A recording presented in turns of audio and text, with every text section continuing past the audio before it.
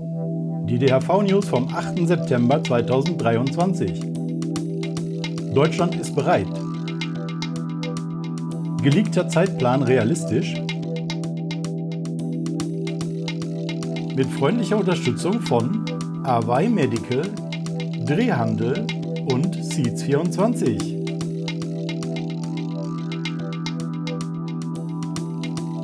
Herzlich willkommen bei den DHV News. Ich fange an mit einem kleinen Nachtrag von der letzten Woche. Da hatte ich ja über diverse merkwürdige Äußerungen von Parteien berichtet hier. Und bei den Grünen war es jetzt so, die haben tatsächlich den Text auf der Homepage grünen.de geändert. Da hatte ich erzählt, äh, dass sie einen positiven Bezug zu den Abstandsregelungen hatten, wo die geschrieben haben, ja, 200 äh, Meter Abstandsregelung von Kinder- und Jugendeinrichtungen müssen die Clubs einhalten. Und das ist eine ausgewogene Balance zwischen individueller Freiheit und öffentlicher Fürsorge. Und dieser positive Bezug auf die 200 Meter Abstandsregelung ist jetzt raus nach unseren Protesten in der letzten Woche und nachdem auch Kirsten Kappert-Gonter aus der Grünen Fraktion nochmal klargestellt hat, dass sie gegen diese Abstandsregelungen ist, hat die Partei äh, im Prinzip nachgezogen. Das Online-Team da sozusagen haben die halt einen redaktionellen Fehler gemacht und diese Passage davon irgendwoher mit übernommen. Aber die Grünen haben gesagt, ja, tatsächlich passt nicht zu unserer Programmatik, nehmen wir raus den Satz. Wunderbar, Grüne, soweit, schöne Klarstellung. Ähm, während die CDU ihren merkwürdigen Text immer noch auf der Seite hat, der sich positiv auf die Entkriminalisierung bezieht, wo es heißt, ähm, der Besitz von bis zu spektakulären 25 Gramm soll zur Ordnungswidrigkeit herabgestuft werden. Allerdings auch Modell Portugal mit Zwangsberatung sozusagen, plus bei Wiederholungstätern Führerscheinentzug, aber auch nur ähm, Bußgelder dann bei Wiederholungstätern von 50 bis 100 Euro, was natürlich auch äh, einigermaßen niedriger Wert ist. Ja, also sind schon ein paar interessante Details. Aber trotzdem, ja, äh, ich habe auf der DHV-Seite jetzt mal einen Artikel, ähm, den ich euch anbieten kann der ähm, die ganze Geschichte nochmal auseinanderdröselt mit der CDU, dann auch die Beschlüsse, die danach gekommen sind, nach diesem Text mit der Herabstufung zur Ordnungswidrigkeit. Da gibt es noch einen Vorstandsbeschluss jetzt der CDU und dazu noch einen Artikel und so weiter. Und ich sage alle, überhaupt keine äh, Kompromissbereitschaft bei der Liberalisierung im Cannabisrecht. Ja, wir sind hardcore-mäßige Repressionisten und sollen auch bleiben und die Ampel gefährdet die Jugend und bla bla. Ähm, also von daher war das irgendwie ein Irrläufer, dieser Text. Äh, mit der Entkriminalisierung, ja, die, die, CDU will davon nichts wissen. Guckt euch den Text ruhig nochmal an auf der DRV-Homepage. Äh, auch der Link äh, ist auch hier in der Videobeschreibung. Aber ja, das ist irgendwie ein Fake News gewesen. Trotzdem, die CDU lässt das äh, auf ihrer Seite, hat es nicht gelöscht. Warum auch immer die jetzt da so eine merkwürdige Formulierung stehen haben wollen, die nichts mit ihrer Programmatik zu tun hat. So, Deutschland ist bereit. Die Sommerpause ist vorbei. Ähm, das merken wir jetzt aber tatsächlich weniger, jedenfalls bei unserem Thema, weniger im Bundestag. Die sind jetzt erstmal mit Haushaltsberatungen beschäftigt und was Cannabis-Legalisierungsgesetz Nummer 1 angeht oder Entkriminalisierungsgesetz, muss der Bundestag sowieso auf den Bundesrat warten. Bis Ende September hat der Bundesrat noch die Frist laufen zur möglichen Stellungnahme, wo ich nicht davon ausgehe, dass die kommt, ja, aber bis dahin muss der Bundestag halt die Füße stillhalten. Aber wir merken das Ende der Sommerpause auch in den Kommunen. Und das war diese Woche besonders auffällig. Ja. Die Zeitungen waren voll mit Berichten über Städte, die zu Modellprojektkommunen für die legale Cannabis-Abgabe werden wollen, obwohl es dazu ja noch gar keinen Gesetzentwurf gibt.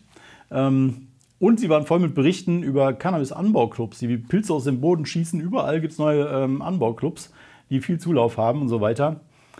Obwohl auch da das Gesetz eben natürlich noch nicht beschlossen ist und auch noch große Änderungen erfahren könnte. Ja, kann also sein, dass das so, wie die es jetzt gerade vorstellen, gar nicht funktioniert oder so. Wie auch immer. Sie gründen sich jedenfalls alle schon mal wie wild. Und davon sind die Zeitungen voll gewesen. Beispiel, paar Beispiele bringe ich mal Überschriften der letzten Tage. Cannabis Social Club in La gegründet. Cannabis-Legalisierung in Deutschland. Neukölln will Modellregion werden. Wachsendes Interesse an Cannabis-Modellkommunen in Bielefeld. Cannabis-Clubs sind bereit. Legalisierung soll 2024 kommen. Thema spaltet die Politik. Wird Düsseldorf Modellregion für legalen Cannabiskonsum? Neugründung auch in Mainz. Cannabis-Club in Wiesbaden boomt. Cannabis-Legalisierung in Dortmund. Wie steht's um den Plan, Modellregion zu werden? Kifferboom in Karlsruhe. Was sich die Mitglieder im Cannabis Social Club erhoffen. Also, das sehr, macht sehr den Eindruck, ja, Deutschland ist bereit für die Legalisierung.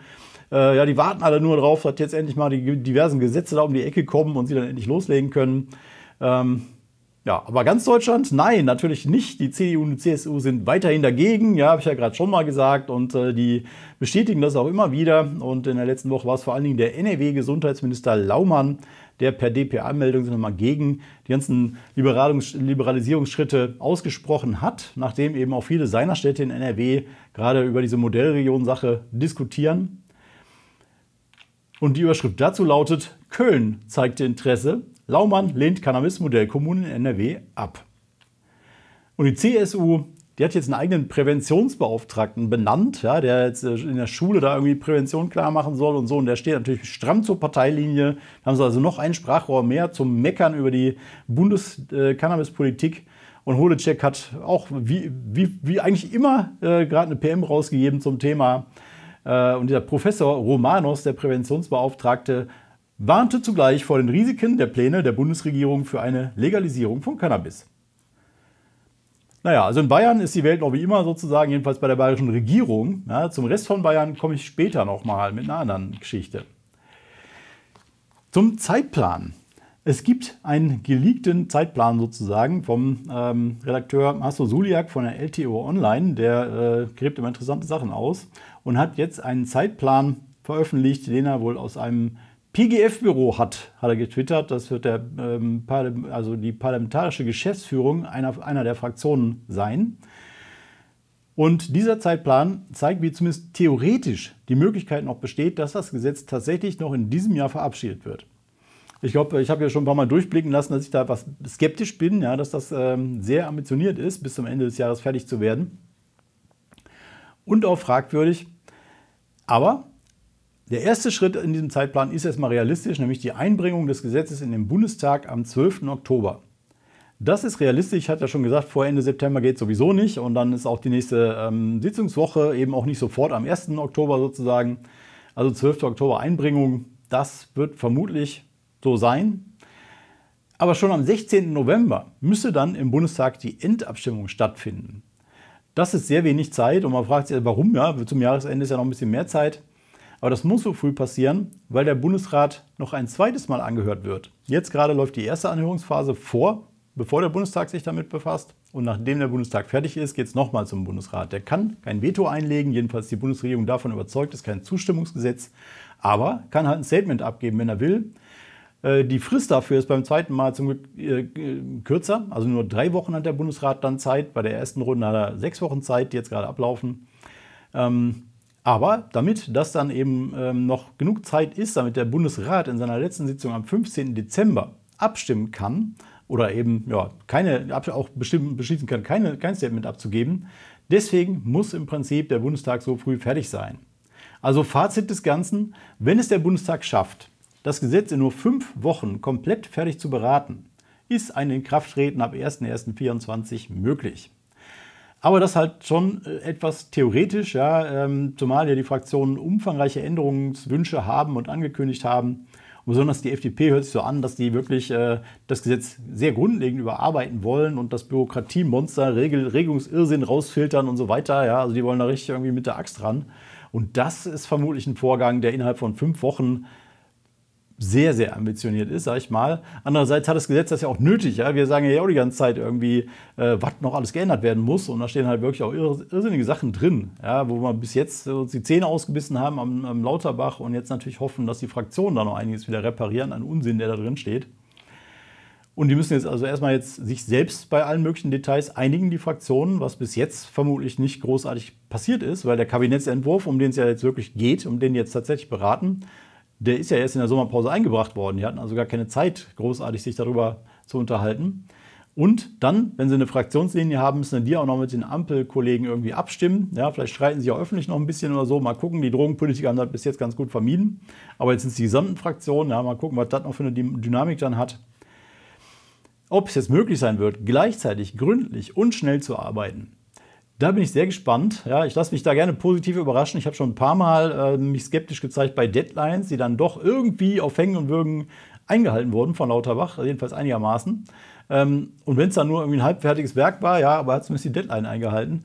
Ähm, mal sehen, wie das jetzt hier läuft. Ähm, aber ja, wie gesagt, mit ein paar Änderungen kann man, also muss man, die müssen wir haben sozusagen, ja, und im Zweifelsfall ähm, dann lieber noch einen Monat länger ähm, debattieren, als dass man da noch Strafen, Bußgelder von 100.000 Euro fürs Kiffen an der falschen Stelle drinstehen hat oder eine Gefängnisstrafe von bis zu drei Jahren für eine Pflanze zu viel oder so. Ja, das sind so Sachen, das geht halt gar nicht und da müssen wir nochmal in Ruhe drüber reden. So, ja, aber bleibt spannend, diese Frage. Alle drei Minuten wird in Deutschland ein Strafverfahren gegen Cannabiskonsumenten eingeleitet. Das sind laut polizeilicher Kriminalstatistik über 174.000 pro Jahr. Du findest das auch sinnlos und willst das Verbot endlich beenden? Wir kämpfen dafür und brauchen dich. Hilf jetzt mit deiner Spende oder Mitgliedschaft und mach mit uns Legalisierung möglich. Für nur 5 Euro pro Monat. Einfach online anmelden unter handverband.de. Schluss mit Krimi, Cannabis normal. Die Stadt Frankfurt spielt immer wieder eine drogenpolitische Vorreiterrolle. Also schon seit Jahrzehnten im Grunde. Zum Beispiel auch ein, ein, äh, Beispiel aus jüngerer Zeit ist eine Anlaufstelle für Cannabis als Medizin, sowohl für Patienten als auch für Ärzte, wo halt alle möglichen Fragen beantwortet werden. In welchen Fällen kommt es überhaupt in Frage? Wie geht das mit den Krankenkassen? Wo finde ich einen Arzt? Und so weiter und so fort. Ähm, und jetzt ist Frankfurt nochmal Vorreiter, weil sie diese anstehenden Reformen, die sich abzeichnen auf Bundesebene, mit einer Befragung der Bürger vorbereitet hat. Keine andere Stadt hat es gemacht, sozusagen, weil das wird massive Auswirkungen auf unsere Kommune haben, äh, diese neue Cannabis-Politik. Und wir wollen uns darauf vorbereiten und dafür fangen wir erstmal äh, die Meinung der Bürger ein, wie die dazu stehen. Und ja, insofern eigentlich eine gute Sache. Und diese Ergebnisse dieser Befragung sollten vor einer Weile schon mal vorgestellt werden. Die sind aber dann ähm, sabotiert worden, sozusagen von der sogenannten Roten Kiefer-Fraktion, äh, die dann irgendwelche gefälschten Zettel damit eingebracht haben in diese Umfrage und dann ein Bekennervideo gebracht haben und so. Ich verlinke euch hier mal die entsprechende DHV-News-Folge, dann könnt ihr euch das da nochmal angucken. Ähm, aber diese Ergebnisse wurden halt bereinigt, die gefälschten Zettel wurden rausgefischt und jetzt wurden die offiziellen Ergebnisse vorgestellt. 10.000 zufällig ausgesuchte Bürger hat Frankfurt angeschrieben. 27,3 Prozent haben sich beteiligt, also 2730 Einwohner, relativ leicht zu berechnen. Gute Rücklaufquote tatsächlich für so eine Umfrage. Und die haben auch nach der Meinung zur Legalisierung gefragt. Ja, wäre vielleicht jetzt nicht unbedingt nötig gewesen. Ja, ist auch kritisiert worden da von der Roten Kieferfraktion und irgendwelchen Journalisten oder was. Ja, das, ist ja ein bundespolitisches Thema, warum fragt überhaupt die Stadt danach? Aber das ist immer so zur Grundeinstellung, ne? wie stehen die Leute dazu, sind die skeptisch oder nicht? Kann man mal machen, wenn man sowieso eine Umfrage startet. 65,8 Prozent der Befragten haben sich für die Legalisierung von Cannabis ausgesprochen. Und die Zustimmung war am größten bei Leuten mit Abitur, 70,1 Prozent für Legalisierung. Bei jungen Leuten, die 25- bis 34-Jährigen, waren zu 78,2 Prozent für Legalisierung. Muss man, muss man sich mal reintun. Ja? Fast 80 Prozent bei den 25- bis 34-Jährigen. Das ist ja im Prinzip durch das Thema. Aber auch bei den ähm, älteren, 65- bis 79-Jährigen, also Rentner ähm, bis ins betagte Alter, haben noch 52,1 Prozent für Legalisierung gestimmt in dem Fall. Gut, kann auch sein, dass natürlich äh, Befürworter eher an der Umfrage teilgenommen haben als andere. Ja, das darf man auch nicht überbewerten, aber trotzdem schöne Zahlen. Ähm, was jetzt Frankfurt spezifischer ist, ähm, die Akzeptanz des Hilfesystems ist sehr hoch. Also ungefähr 90 Prozent der Leute ähm, befürworten schulische Prävention ab Klasse 7. Auch ungefähr 90 Prozent der Leute würden selbst zu einer Drogenberatungsstelle in Frankfurt gehen, wenn sie ein Cannabisproblem haben und würden es auch Freunden empfehlen. Aber nur 55 Prozent ungefähr wissen konkret, wo sie in Frankfurt dann äh, so eine Drogenberatungsstelle finden. Und daraus äh, schließt halt die Stadt, dass da nochmal mehr Werbung gemacht werden muss, der Bekanntheitsgrad der Beratungsstellen erhöht werden muss. Also da sind wir wirklich bei konkreten Ergebnissen, was die Stadt tun will, noch irgendwie als Ergebnis dieser Umfrage, um sich gut vorzubereiten auf äh, legales Cannabis. Von einem großen Anstieg des Konsums Geht man übrigens nicht aus, danach wurden die Leute auch gefragt, gehst du davon aus, dass dein Konsumverhalten sich irgendwie ändert durch eine andere Gesetzgebung? Und die meisten gehen halt davon aus, da wird sich nichts ändern. Ja, also drei Prozent von denen, die sehr lange nicht konsumiert haben, äh, meinten, sie würden es dann vielleicht mal probieren. So ein Effekt, den man in Kanada auch sehen, ne? die Silver Ager, die älteren Leute, äh, die lange nichts mehr damit zu tun hatten oder auch noch nie, die dann mal probieren gehen. Ja? Aber das ist ja eben nicht die Risikogruppe, die dann irgendwie fürchterlich anfängt zu kiffen. Ähm, und die Jüngeren, ja, da tut es dann sowieso nicht mehr viel da irgendwie am Konsumverhalten. Ähm, auch die meisten konsumieren halt nicht, ne, sind nicht Konsumenten und haben gesagt, wir uns auch bleiben wollen und trotzdem äh, die Legalisierung befürworten.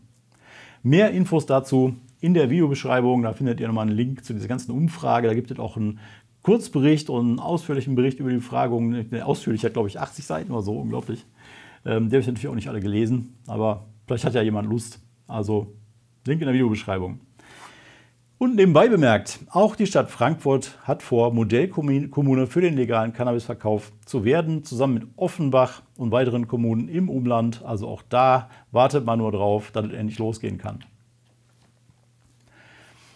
Ganz was anderes passiert aber immer noch tatsächlich in Deutschland. Ja, bis jetzt hat sich das Gesetz eben nicht geändert und eine Meldung aus Bayern, die immer mal wieder kommt, Hausdurchsuchungen wegen kleiner Menge Cannabis. Die Polizei erwischt Passanten, hier in dem Fall einen 23-Jährigen gegen 23 Uhr, einen 32-Jährigen gegen 23 Uhr, äh, Personenkontrolle. Man findet eine geringe Menge Cannabis und dann ähm, wird noch ein Rauschgiftutensil bei der anschließend durchgeführten Wohnungsuntersuchung äh, aufgefunden und eine weitere geringe Menge Cannabis. Ja, Strafverfahren und so weiter. Insofern normal in Bayern, ja, das ist immer wieder mal der Fall, das passiert und die Polizei das auch ähm, befürwortet, ja, und ähm, auch auf Landesebene dann im Prinzip rechtfertigt. Äh, aber die Meldung an sich, ja, das, sonst hat man sowas immer dann nachher im Kleingedruckten gelesen, am Ende des Artikels, außerdem gab es noch eine Hausdurchsuchung. Hier bei der Augsburger Allgemeinen steht da mal in der Überschrift, Polizei durchsucht Wohnung wegen kleiner Menge Cannabis. Und das ist natürlich schon so ein bisschen verwunderlich, ähm, ne, der, der, bringt Verwunderung rüber, diese Überschrift, dass das immer noch so ist. Ähm, und dann irgendwo steht, ja, ähm, ist halt noch nicht legalisiert. Auf jeden Fall ist das eben ein Punkt, ähm, dann auch mit dem Strafverfahren. Obwohl bei einem 32-jährigen Dillinger nur wenige, wenig Marihuana gefunden wurde, erwartet ihn nun ein Strafverfahren. Wo man schon merkt, der Redakteur versteht eigentlich gar nicht so richtig, was soll überhaupt jetzt noch. Ähm, trotzdem, das ist gelebte Realität in Deutschland. Deutschland ist bereit für die Legalisierung und wartet noch darauf, dass selbst bayerische Polizisten aufgehalten werden, davon irgendwie ständig die Leute zu drangsalieren. Bleiben wir in Bayern. Ein erstaunlicher Fall von Guerilla-Growing hat sich in Bad Reichenhall ereignet, auch eine Stadt in Bayern. Da haben wir wieder irgendwelche Spaßvögel Nutzsamsamen ausgesät und die wachsen jetzt äh, munter in, einem, äh, in der Mitte eines Kreisverkehrs mit Salzstreuerskulptur. Ja, interessantes Bild äh, in Medien. Und die Bad Reichenhaller wissen sicherlich, welche Kreuzung ich dann meine. Und jetzt habe ich den üblichen riesigen Aufriss im weiteren Verlauf des Artikels erwartet. Ja, riesen zuletzt in Erfurt. Da zu den normalen Streifenpolizisten musste sogar noch die Bereitschaftspolizei anrücken, um da aus irgendwelchen Rabatten neben der Straße die ganzen Handpflanzen rauszuholen. Tausende äh, kleine Setzlinge waren am Ende, die sie da irgendwie rausgezupft haben. Ja, Riesengedöns. Thüringer LKA ist irgendwie mit involviert worden. Und Bad Reichenhall, Bayern, was passiert jetzt da? Ich zitiere mal. Obwohl die Cannabispflanzen bislang nicht zum Pflanzkonzept der Stadt gehören, plant die Stadtgärtnerei, die Handpflanzen stehen zu lassen. Es droht keine Gefahr und bislang stört sich niemand daran, so der Stadtgartenmeister. Das Cannabis darf also weiter wachsen und wird dabei vermutlich künftig mehr Beachtung finden. Also das ist wirklich toll. Ja? Ich berichte jetzt hier seit etlichen Jahren über solche Guerilla-Growing-Aktionen von irgendwelchen Leuten, die da Hanfsamen aussehen und gucke mir diese ganzen ähm, Spekulationen dann immer in den Zeitungen, in den Städten an, ja, ob das jetzt am Saatgut liegt oder ob das jetzt irgendwie ähm, illegal angepflanzt wurde ne? oder irgendwelche Verunreinigungen, irgendwo Vogelfutter, das ist auch immer ein Hit. Äh, naja, und dann eben Riesenpolizeiaktion. Und zum ersten Mal in der Geschichte Guerilla Growing in den DHV News habe ich jetzt auf einmal hier eine Stadt, wo die einfach sagen, ja, kann stehen bleiben. Ja, ist sowieso Nutzer und wenig THC drin, kann sich gar keiner mit berauschen, interessiert keinen, lass mal stehen. Also das ist wirklich ein Ding, ja, ausgerechnet in Bayern. Ähm, ich nehme schon an, dass jetzt ein super eifriger Staatsanwalt das Ganze doch noch verhindern wird und sagen, wir müssen jetzt unbedingt, wir müssen aber, ich will aber jetzt einen riesen Polizeieinsatz im Ausrupfen und so weiter, ja, mal gesehen. Aber trotzdem, äh, auch Bad Reichenhall hat sich nicht mehr anstecken lassen von Holoceks Cannabis-Wahn. Ja, und ja, auch Bad Reichenhall ist bereit für neue Wege in der Cannabispolitik, offensichtlich. Ähm, ja, und jetzt sind wir beim Ortsgruppenfunk schon angekommen und da äh, geht es wieder los. Auch Wuppertal hat wegen eines entsprechenden Antrags darüber diskutiert, ob Wuppertal zur Cannabis-Modellkommune werden sollte. Gemeinsamer Antrag von Linken, Grünen und SPD, glaube ich. Ähm, ist noch vertagt worden jetzt Richtung Oktober. Äh, aber unsere Ortsgruppe Bergisches Land, DHV Bergisches Land, hat in der Pressemitteilung das Ganze kommentiert und ist schön zitiert worden in der Wuppertaler Rundschau. Unser Sprecher Frank vom Scheid, unter anderem mit diesem Zitat. Zusammen mit vielen anderen Städten in Deutschland macht Wuppertal damit klar, dass es weiteren Reformbedarf hin zu einem regulierten Markt gibt. Und weitere Zitate. Ja, schönes Beispiel dafür, welche Möglichkeiten die Vorortsgruppen haben, auch eben vor Ort in den Kommunen unmittelbar sich an solchen Diskussionen zu beteiligen, die zu fördern, eben durch solche öffentlichen Zitate eben Reichweite zu erlangen und Argumente unterzubringen und so weiter. Und das wird zukünftig vermutlich auch nochmal häufiger werden. Siehe Frankfurt jetzt auch mal mit Bürgern in Kontakt treten will, nochmal wissen will, was denken die überhaupt und so weiter. Ähm, viele cannabisbezogene Fragen werden auf die Kommunen zukommen, wenn diese Gesetze jetzt in Kraft treten und so weiter. Äh, und da ist natürlich interessant, wenn man Interesse, eine Interessenvertretergruppe direkt vor Ort hat, die da ansprechbar ist und ein bisschen beraten kann und so weiter, Fragen beantworten kann, äh, um dann am Ende eben auch eine für Konsumenten sinnvolle Ausgestaltung der kommunalen Cannabispolitik, der kommunalen Umsetzung zu erreichen. Ja, muss nicht eine DAV-Gruppe sein, gibt eben auch die ganzen Clubs und so weiter, ja, aber DAV ist nochmal ein bisschen, also geht es eben über diese Clubs hinaus, äh, was jetzt Cannabispolitik angeht und lohnt sich aktiv zu werden auf jeden Fall.